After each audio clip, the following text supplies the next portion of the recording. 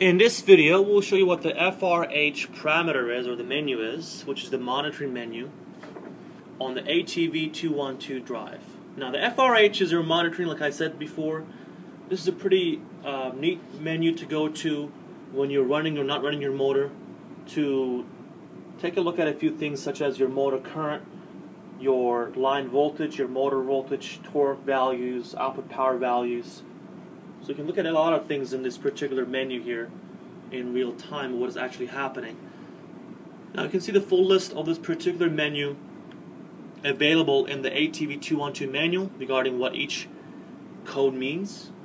And to get to this particular menu from your main screen, you have to press the mode key until you see AUF and press the mode again and you'll see FR-F which is your monitoring menu. So once you see this, let's assume you want to go ahead and take a look at your motor current. So to get there, there's a couple of ways of doing this. I mean, you can hit the up or down, doesn't really matter how you get there. Uh, it will circle back around regardless. It's a big list.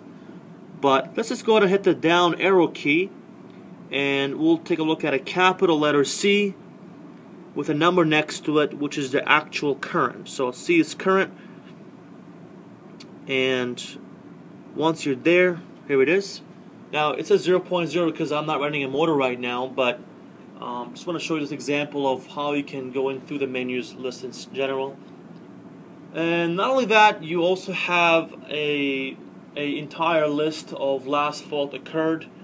For example, you see the uh, in this particular list, the N is in Nancy, small n, E, R, R, and you'll notice that they'll be flashing back and forth between number 4, error, number 3, error, number 2. Of course, if there's nothing, there's no fault there in the first place, they will show nothing because there's no last fault here. So, um, if there's no fault recorded in the first place. But regardless, um, this is how you go into the monitoring menu. Of course, to go back out the same way you came in, you can press mode.